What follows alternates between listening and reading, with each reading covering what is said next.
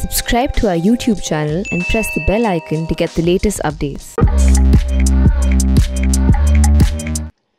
I'm with General S.L. Narasimhan, the director of the Center for Contemporary China Studies, a former commander of the Third Corps, a former defense attache at the Indian Embassy in Beijing. In fact, when former Prime Minister Atal Bihari Vajpayee went on a very important visit to Beijing in 2003, General Narasimhan was uh, defense attache there, speaks Mandarin fluently, uh, and is also a member of the National Security Advisory Board. General Narasimhan, welcome to the print.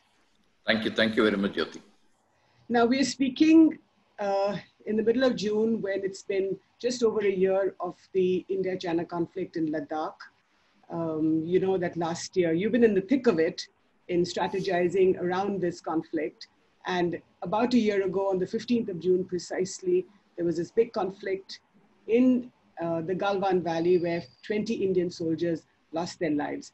Can you tell us one year on what the situation is with the Indian Army and the Chinese PLA troops in Ladakh?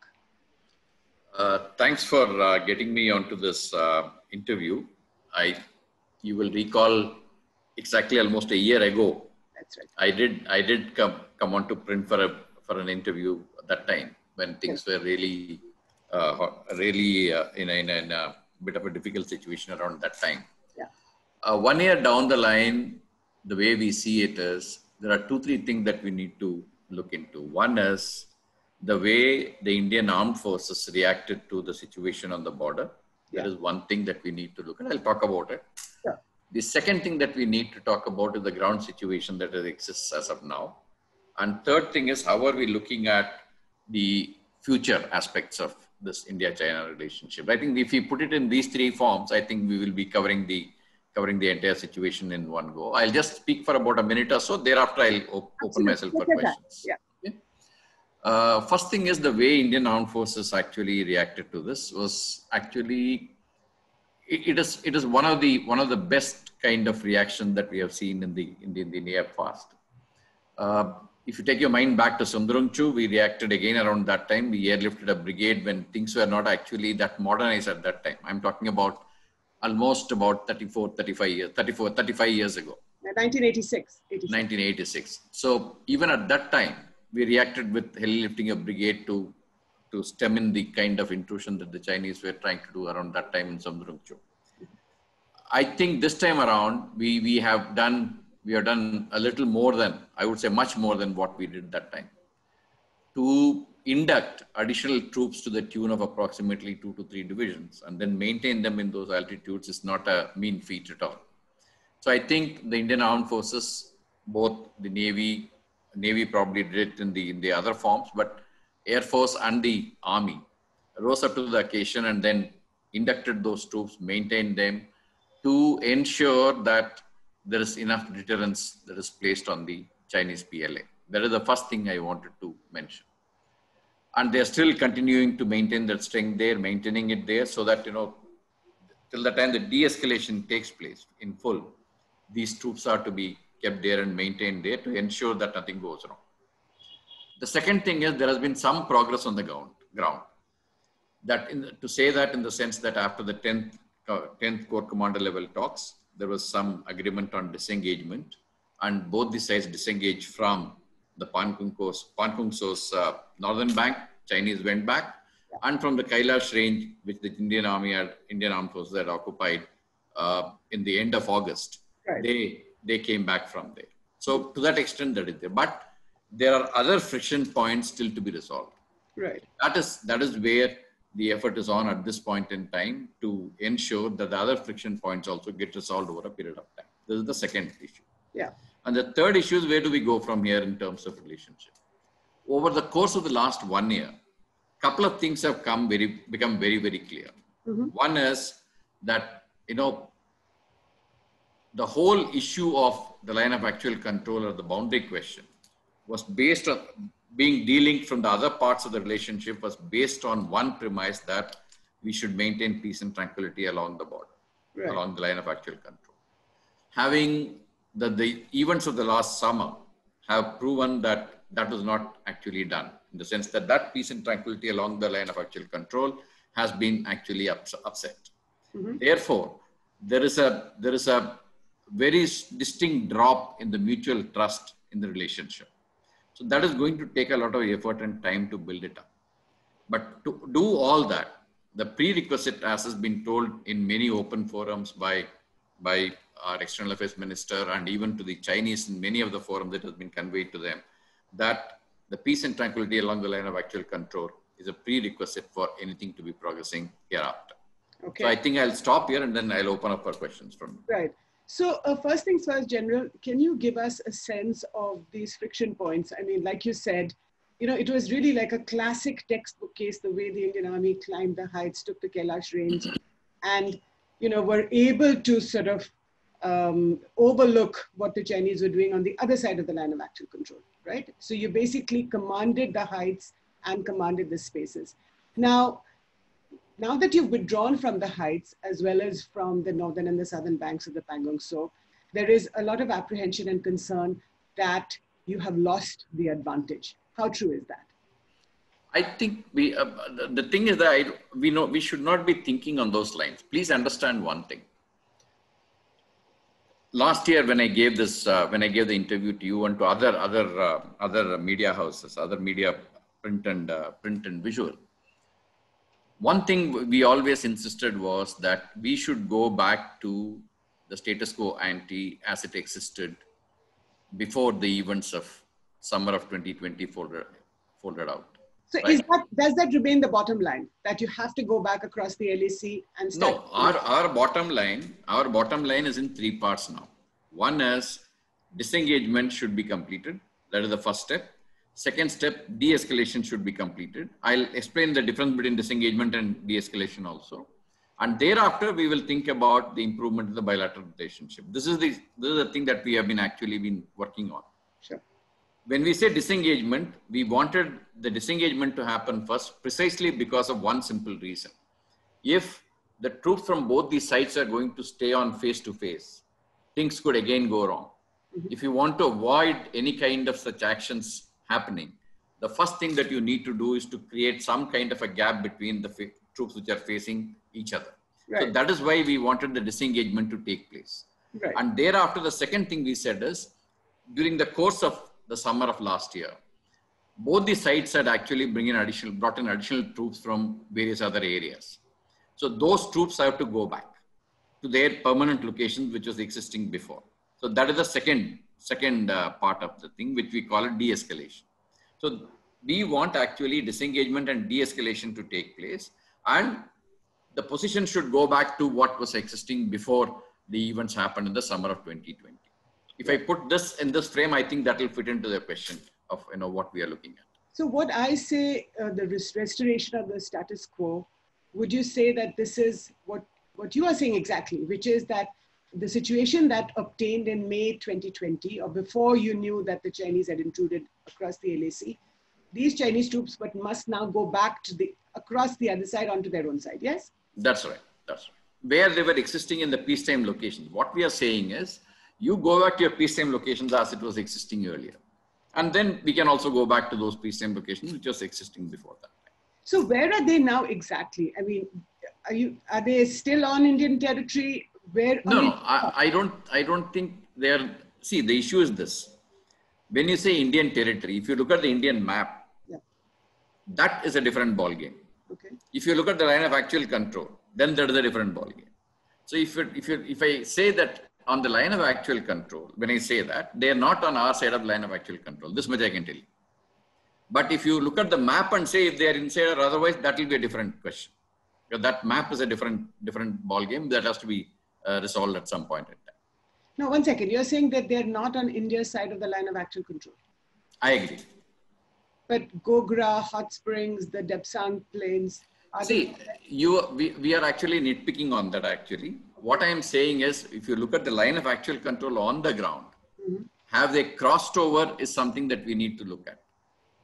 I think what they have done is they have come up to the areas which which which were actually being being contested at that point in time in the summer.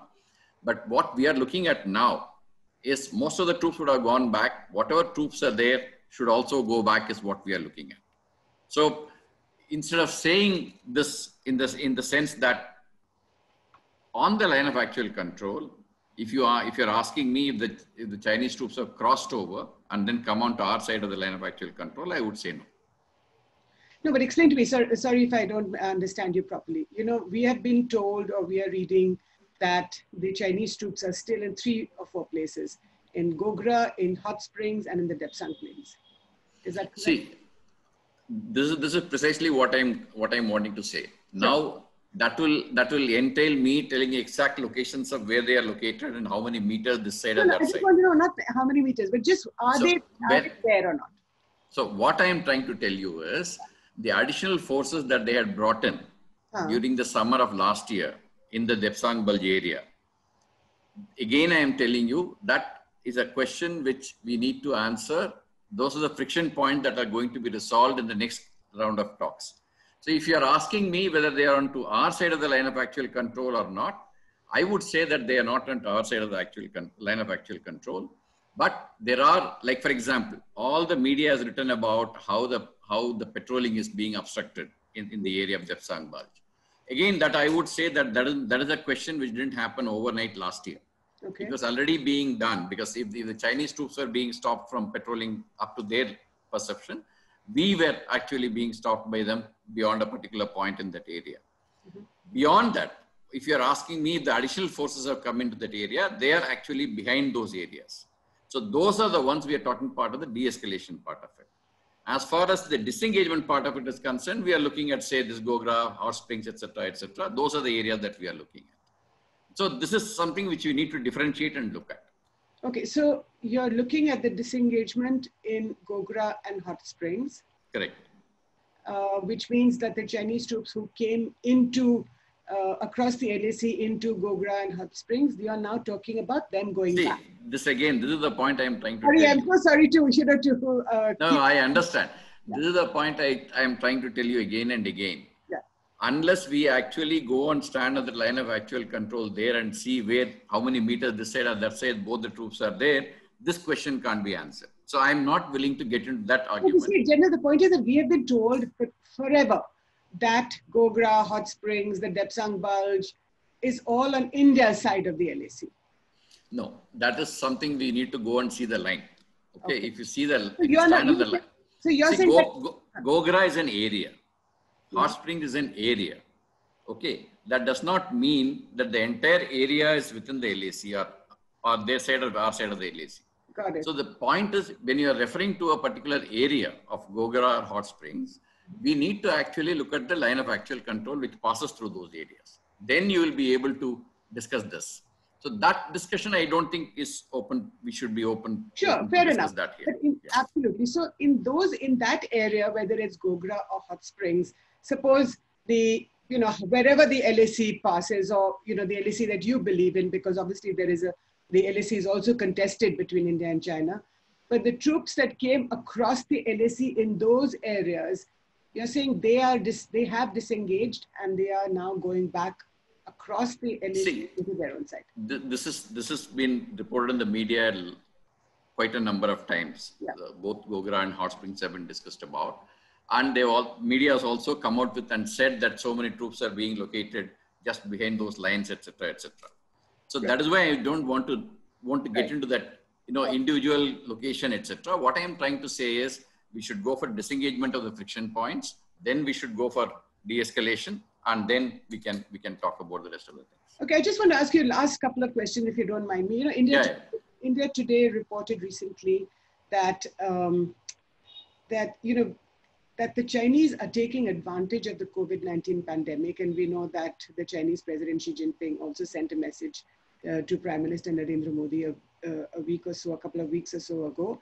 But they're saying so. This particular uh, point that India Today is making is that the Chinese army has reinforced its presence in the eastern Ladakh depth areas with permanent accommodations and depots, which is being described as an aggressive stance.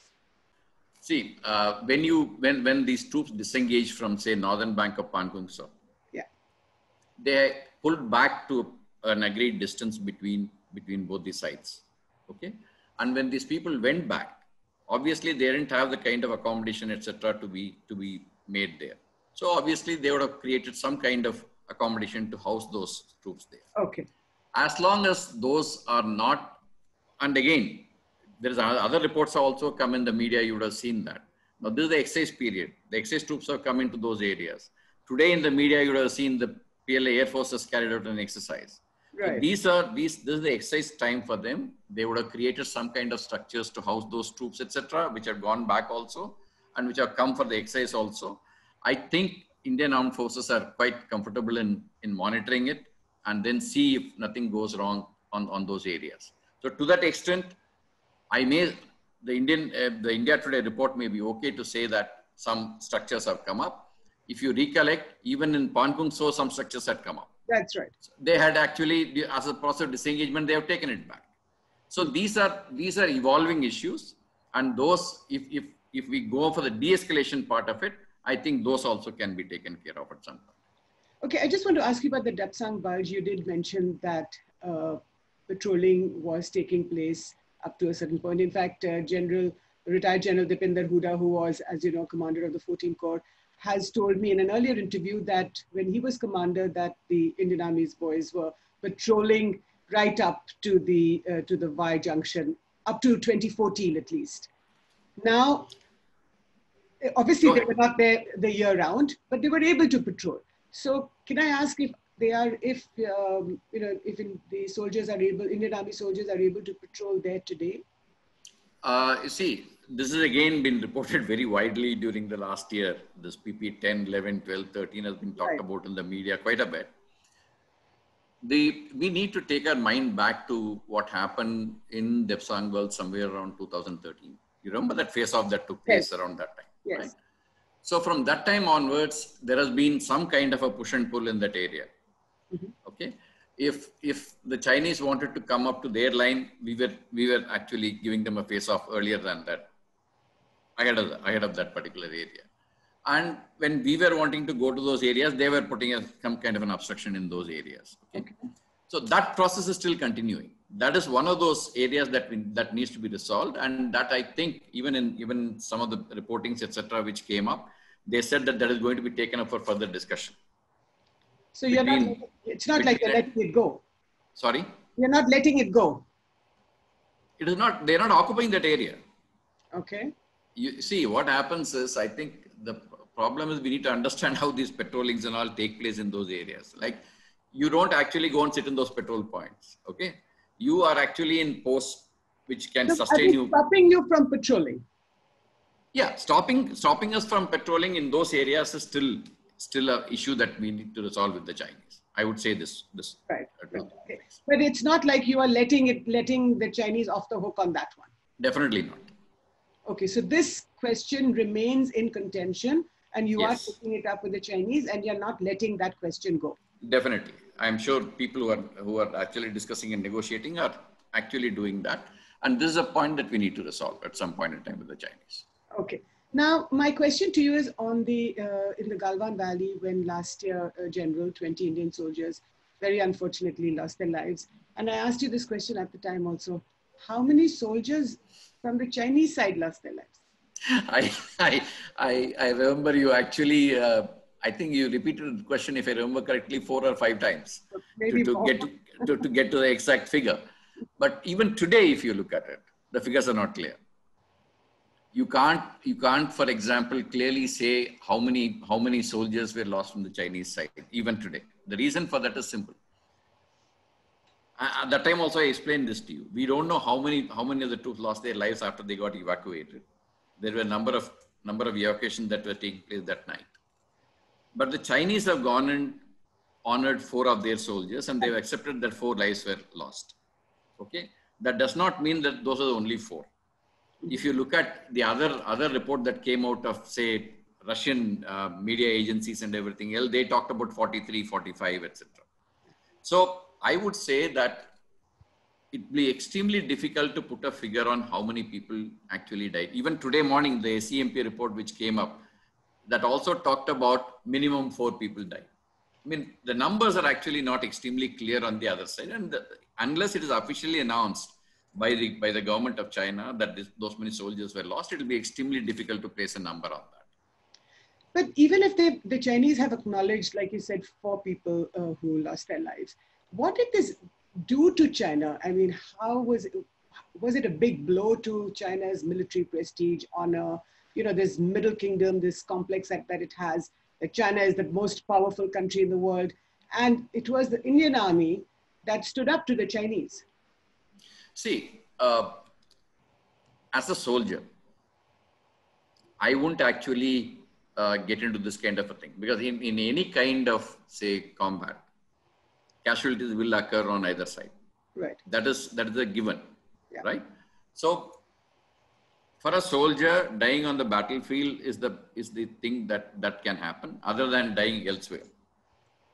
To that extent, we will respect any of the casualties. Like you have seen us uh, treating the casualties from the Pakistan side with the Mhm. kind of due respect that they deserve. During Kargil, especially, I saw that very, very. Absolutely. And And similar similar kind of feeling exists on the border between India and I'm sure the Chinese troops.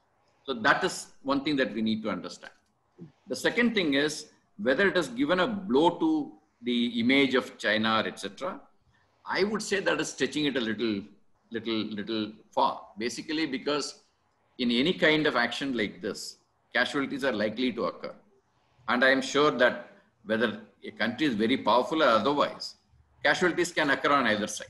So to that extent, we should take it with that spirit in the sense that some kind of clash occurred, both the sides lost their people, and whether it is actually affecting the psyche of China is a different question. But what we saw in the in the Chinese media, etc., or the social media, etc., a couple of feel, feelings came up in that. One is a part of the part of the uh, expressions that came up in the social media said that our soldiers also should be honored Mhm. in the initial stages when it came Right. up. We saw that happening, and I think to some extent the Chinese government also has accepted that so many casualties have occurred, and they have honored them to, to some extent. The other other thing was that other kind of expression that came up in the social media was that you know uh, our soldiers who, who lost their lives are not being given their due. Yeah. So that is the other thing that we, other kind of the argument that we saw. But I think those arguments have now, I think, gone down over a period of time. That time it was a little hot and so everything was happening. I think around this time, they have generally uh, agreed to the fact that these soldiers are being honored, etc. So I think we will leave it at that as far as that is concerned.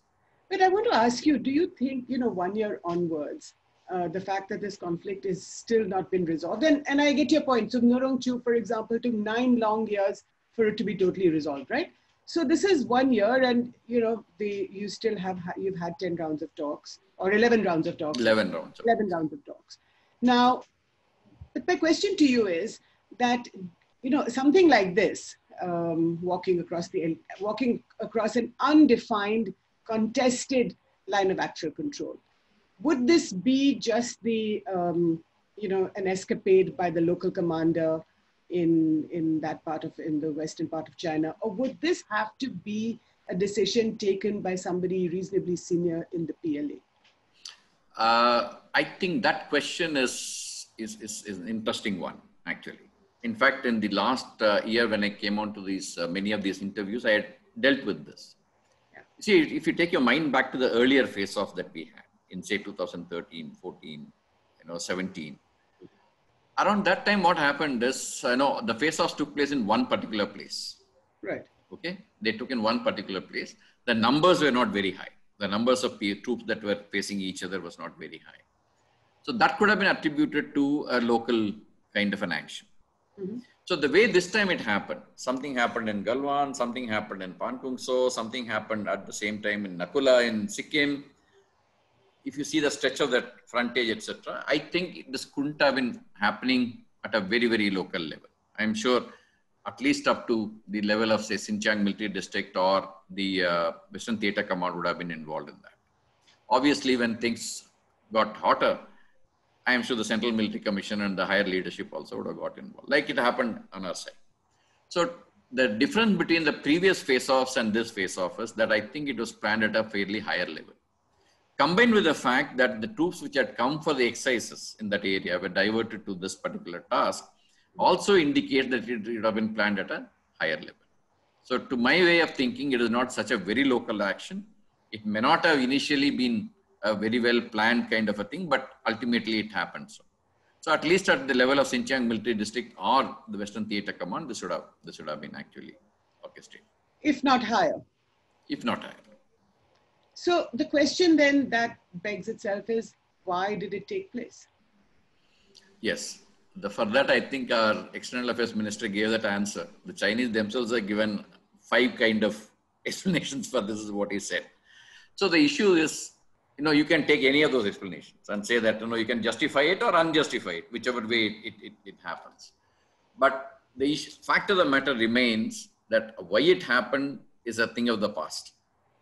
No, but I still want to know, you're, you're a thinking general general I, see i can i can i can think of not more than five not only five i can think of more so tell me at least one which, which one which one which one would be correct is something we don't that, know but right now we, are, don't we don't know which the exact reason and what do you what do you think? okay there are a number of things which i've been told one is uh, one is the infrastructure development that we are doing in galwan particularly to cross the Shyok river and the galwan river was the one which which actually troubled them basically because they felt that you know probably we may cross the LAC and go that side, etc., etc. That is one reason. The second reason, you know, there are people who have said that you know the redrawing of the union territory of J&K could have been a reason, which Chinese picked up subsequently, whichever way it is. That is two.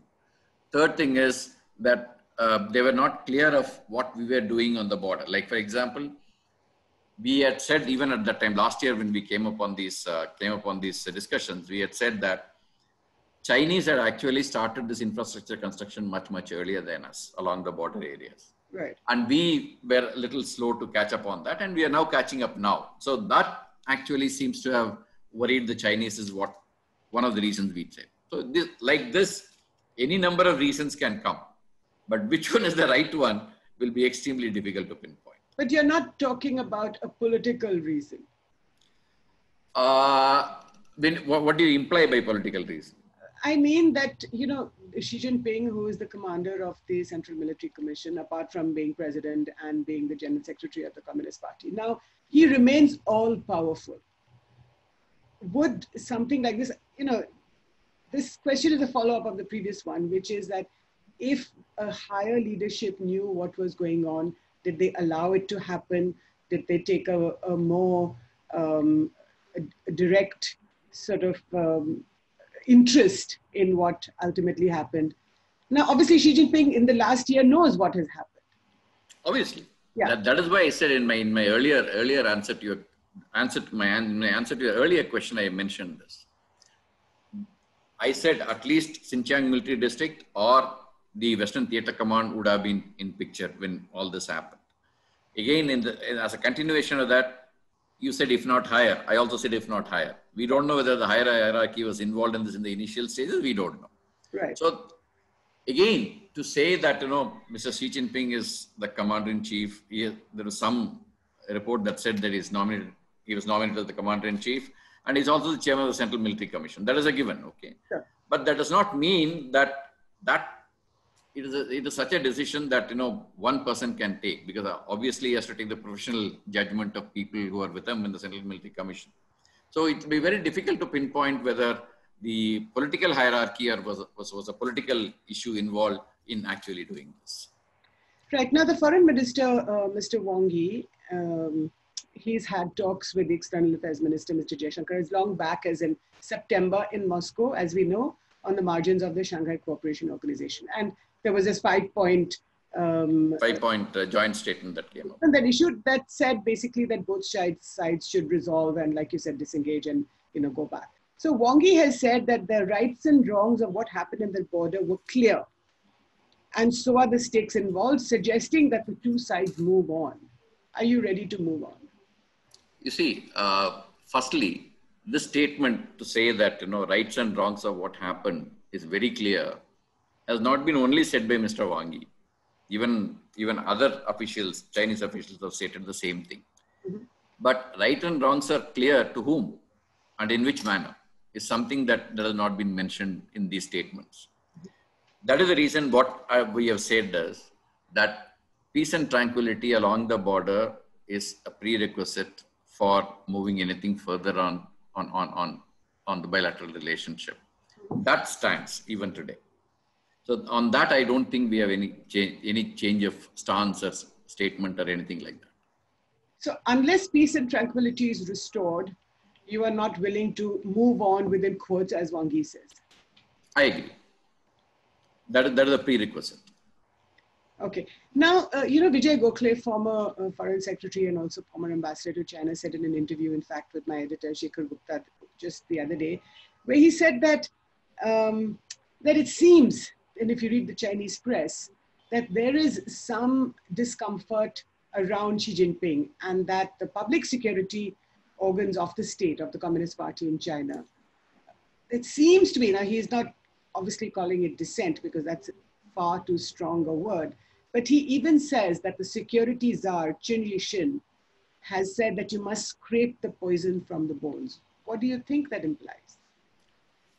See, I'm not, I'm not very, uh, very uh, sure of that kind of a particular um, uh, view. Mr. Vijay Gokhale, I'm sure would have, would have, would have given his view the way he, he has analyzed it and he understood it to my way of thinking, right through last year, we were watching what kind of dissents were coming up in the social media, etc.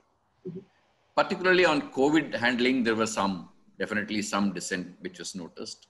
At least uh, 10 to 12 people we could analyze as to people have questioned the way it was handled. No, 10 to 12 people in, inside the Communist Party or, you know, just social media? It, it, is, it, is, it is some doctors, some academics, some uh, industrialists kind of a thing. Okay, it's it's a combination of all this you can say. So that is that is that was noticed, but we don't see it anymore. In the last after about, I'm sure they were they were handled. Some punishments were given. Somebody was let off. Whichever way it is, it was handled. And beyond that, we see that you know there is not much of much of a dissent that we can notice as far as this is concerned. That is one. The second thing is the anti-corruption drive has been going on since 2013, if I remember correctly. And it has taken its course of seven, eight years, and it is still continuing. There were a lot of people who have been actually uh, actually brought to book as per that particular thing. There will be some dissent definitely within that country, but that does not mean if there is anything that is going to be quite uh, uh, quite uh, important or quite uh, I would say uh, affect, affecting the, the the functioning of the Chinese government or Mr. Xi Jinping. I don't see that. I don't see that happening. So President Xi Jinping remains all powerful uh, in the positions that he. Let, let, this is the second time you are saying this all powerful, and so let me little. Let, let, let, me come up on this. So the first thing we all need to understand is China is not, uh, even the Chinese Communist Party is not a monolith. Like every one of us, you know, tend to believe there are there are uh, uh, issues within that party.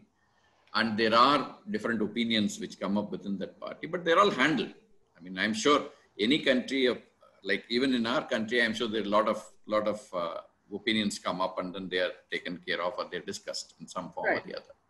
But in the case of China, what happens is all these discussions take place behind cold, uh, closed doors. So you don't get to know actually what, what is being discussed or what decisions are being taken. So it gives you an indication or it it gives you an impression that Chinese Communist Party or China is one, Chinese government is one monolith and there is one person who is actually handling everything. Yes, definitely that one person will have much more power than the others, but that does not mean that is that there are no limitations to that power. There are there are discussions, there are opinions that get discussed, but we don't get to know them. So would you say, you know, for example, in 1962, it was said that one of the reasons, and you know, China watchers like you have said that one of the reasons that 1962 conflict took place, of course, many other reasons, but one of them was that Mao believed that India should be taught a lesson. Do you think that the 2020 conflict in Ladakh had some similar motivations? The situations are entirely different.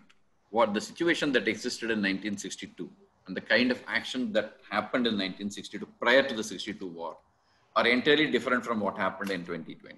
Like, for example, if you look at that history of that boundary uh, discussion that were taking place between India and China, it started from 56 onwards, slowly and steadily, it was building up in momentum. And particularly after you we went and discovered that that road, Western Highway, had been built up, yeah. then you found the issues started getting more serious. And then you find that the jockeying for space in Eastern Ladakh had taken place. And then we went in for a forward uh, posture, which was forward policy of establishing 43 posts in Eastern Ladakh. And then that created further issues. And so if you, if you ask me, 1962 was a different situation. The power equations were different. The ground situation was different than what it existed in 2020. So in 2020, if you say that you know it is teaching a lesson or something like that, I think I'll take that with a pinch of salt. India is not a country that can be just pushed over and taught a lesson anymore. Maybe in 62 we were slightly weaker than what we are now, or far weaker than what we are now.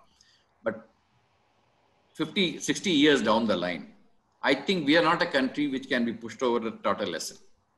So I think that kind of a feeling should should should not be there in us. We should understand our own strengths and weaknesses, and then we should believe in ourselves to say that you know we can do what we need to do as in the country's interest. No, no, it's not about ourselves, General Narasimhan. I'm saying I think I agree with you. India is a completely different country, much stronger, uh, not just militarily but economically as well. And you know, Indian soldiers have shown, for example, in Ladakh, in the manner of which over the last year, how they have stood up to a far more, um, you know, at least an economically stronger nation and a, and a military one. But my question is on the Chinese side. Do you think that they underestimate or they perhaps they don't know India as well? And they believe that, you know, this other Asian power which wants to join the nuclear suppliers group, which has, has conducted nuclear tests, wants to be, you know, China's equal and they want to teach India a lesson. I think the Chinese understand understand us or the or, or, I would say the stature of India in terms of the economy, in terms of military power, etc. They do understand it well. Because my experiences on the border and also my experiences in China indicate that they don't look at you as a unprofessional or un- incapable kind of armed forces or or a country of that nature. I, therefore, I would not subscribe to that view to say that, you know, Chinese wanted to teach a lesson to us and so it happened. Okay. They do understand our strengths very well. I have, I have been experience, I have, I have had the experience of seeing it. That is the reason I am saying this.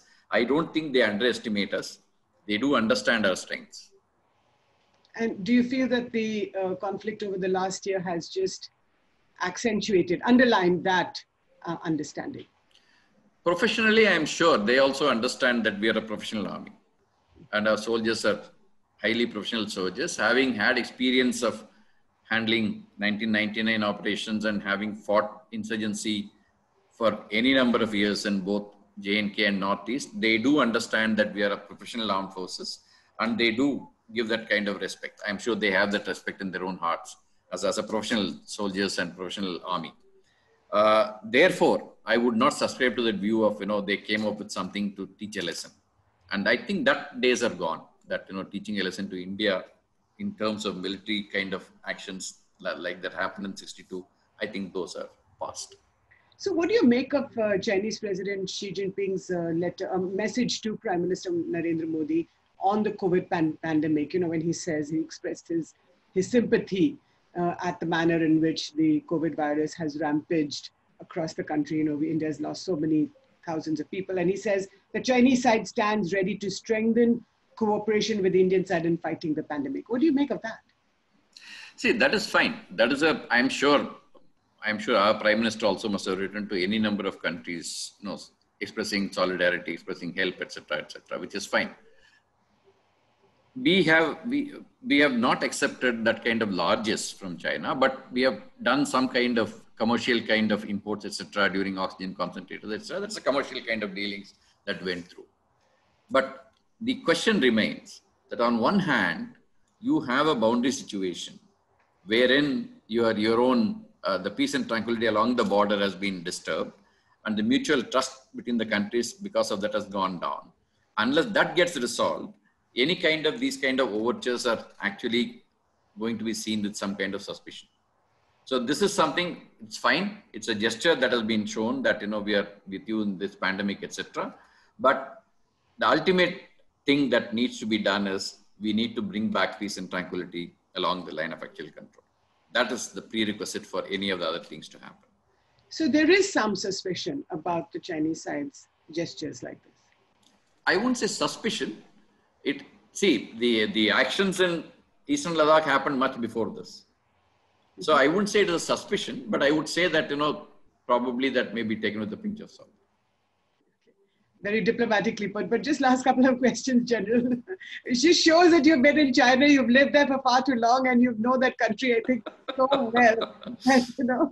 But, you know, last couple of questions the COVID pandemic. Now, whether you want to believe the figures that are coming out of China, and most probably they are fudged or underreported. And, and in India, it's exactly op- the opposite, right? It's all in your face. I mean, uh, the, the, the trauma of what India has been through these last few weeks and months. Do you feel that the COVID pandemic has had um, an impact on the uh, conflict in Ladakh? I don't think so.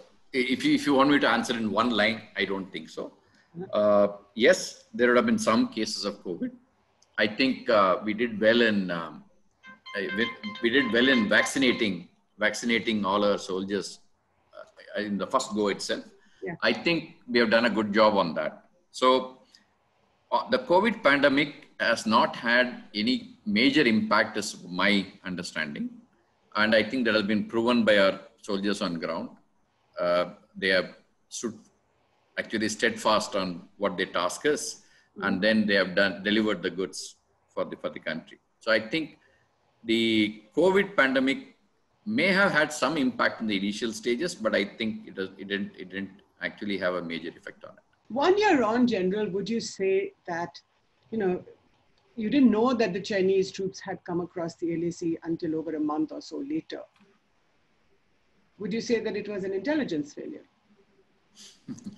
See, uh, the exercise areas of exercise areas in which the Chinese troops do these exercises is generally under observation in the sense that we come to know when these troops are moving in, what kind of exercise they do, etc. Uh, to say that, and also to some measure, there were some developmental activities also going on in the airports in that area. Mm-hmm. So to be fair to everybody, that it will be very, um, uh, I would say, it will be very difficult to assume that they had a different, uh, they had a different kind of uh, uh motive in doing all this. So I wouldn't say it is a failure. I would say that probably uh, Chinese were able to achieve the surprise. I'll put it this way. so what are you telling them now? So how does, you know, going forward, are you saying to the Chinese, that you should sit down and clarify the line of actual control or resolve the border issue. We have been saying that for quite some time now. Not only now because of what happened in East Eastern been listening to you all these years. True. And the issue that comes up is that we started this process. You are aware of it. In uh, in um, in uh, 2000, we we clarified the maps. We exchanged the maps in the middle sector. When we wanted to exchange the maps in the western sector, things went southward, and then they disengaged from that process. For a long time, we have been saying that we should start this clarification of the line of actual control because if at least both the sides know that this is where I see my line of actual control and Chinese say that this is where the line of actual control is, at least we are, at least we know each other as to what the other side is saying, where the line of actual control is. At the moment, even that does not happen. So to that extent, we have ambiguity on the ground in the sense that. so know, what are you saying to them? Are you saying that we should and we, what are they saying back? That is one of the things that have been said to them that, you know, we, as a process of further uh, ensuring that no such face-offs, etc., take place, we need to clarify the line of actual control and then proceed further towards actually resolving this boundary issue over a period of time. And what is the response? Uh, they have still not come around to, I would say, accepting the clarification of the line of actual control. to say that no progress has been, has been made will be incorrect. I'm sure a lot of progress has been made. And if you read uh, Mr. Shivshankar Menon's book, he clearly states what process has been done and then where they were in 2012-13 when he actually moved away from that process. So to say that no progress has been made is basically because we don't know what progress has been made. It is not in the public domain. So therefore, there is a general feeling to say that you know we don't know what has happened. So we, don't know there is there's no progress. I don't think we should see it that way because these processes are confidential and so therefore we don't know exactly as to what process has been, what progress has been made. But to our way of thinking so far, if you look at the 2005 agreement and the and the book which uh, which Mr. Menon wrote subsequently, if you look at those things, I think some progress has been made. I'm sure these things are very difficult to achieve overnight. It is going to take some time, but the process should go on, and the process should actually help us in resolving this boundary issue. This particular boundary conflict in Ladakh as well. Uh, yes, when you say when you say the boundary issue, boundary revolves around everything: eastern Ladakh, middle sector, eastern sector. Everything is included in that. Right, General Narasimhan, thank you so much for speaking to the print, for explaining the situation on the ground in Ladakh, as well as the strategic diplomatic relationship between India and China. Thank you again. Thank you very much. Thanks for having me on the show. Thank you.